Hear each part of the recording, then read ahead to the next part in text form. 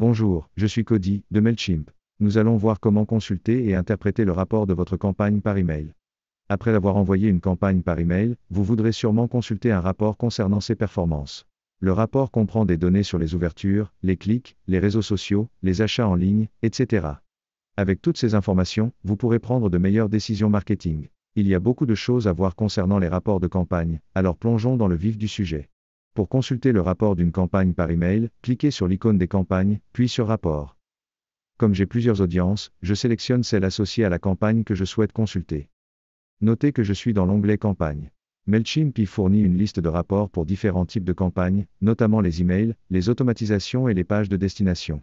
J'ai un plan payant, donc je peux également consulter l'onglet comparatif pour créer des rapports qui comparent les performances de deux campagnes par email. Comme j'ai un site web, je peux voir dans l'onglet site web des données sur les visites, les clics et les abonnements. Pour l'instant, revenons à l'onglet campagne. J'ai la possibilité de filtrer par état ou type de campagne, ou d'organiser mes campagnes en dossiers. Je recherche une campagne par email classique, donc je clique sur le filtre email.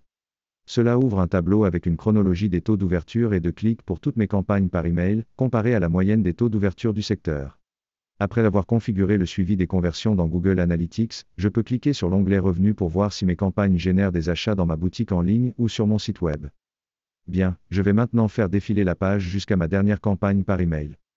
La voici, avec un résumé de statistiques clés que je peux survoler pour plus de détails.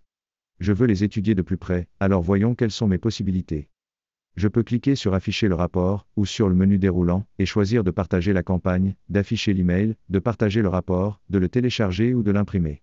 Je vais cliquer sur Afficher le rapport. Tout d'abord, je vois cette page d'aperçu.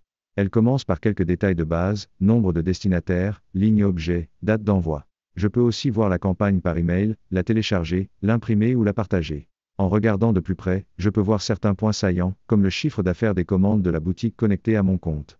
Si je fais défiler encore la page, je peux voir mes performances en matière de clics. Les principales URL de ma campagne y sont répertoriées. Et si je clique sur Afficher les cartes des clics, je peux voir une représentation visuelle des performances de chaque lien. On trouve ensuite le rapport d'analyse comparative de ma campagne. Je peux voir un comparatif de cette campagne par rapport à une campagne par email moyenne. Je peux également la comparer aux performances moyennes dans mon secteur d'activité. Celle-ci s'en est plutôt bien sortie. Dans la section suivante, je vois des détails tels que mes taux d'ouverture et de clics. Ce type de données peut vous aider à prendre des décisions éclairées quant à la marche à suivre pour développer votre activité. Et ici, je peux voir quelques prévisions démographiques. Il s'agit d'une fonctionnalité qui devine le sexe et l'âge de vos contacts. Elle permet d'identifier des caractéristiques clés de votre audience, et elle est disponible dans certains plans. Je peux aussi voir les performances de ma campagne lors des dernières 24 heures, et savoir quels abonnés l'ont le plus ouverte. D'après ce graphique, il semble que c'est à ce moment que j'ai eu le plus d'ouverture. La section sur les performances sociales fournit une vue d'ensemble des performances sur les plateformes de réseaux sociaux telles que Twitter. Enfin, je sais où dans le monde mes destinataires ouvrent leurs emails grâce à leurs données de géolocalisation.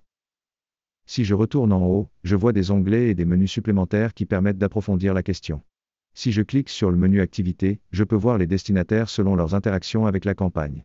Cliquez sur l'onglet Performance des clics pour voir les performances de chaque URL suivi. Cliquez sur l'onglet Social pour consulter les principaux référents, ou sur le menu E-commerce pour voir l'activité d'achat et l'historique des commandes.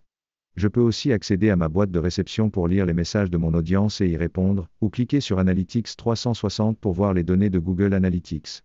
Et voilà, vous avez appris à afficher et interpréter les rapports des campagnes par email. Pour plus d'informations sur les rapports, consultez les guides et tutoriels de MailChimp.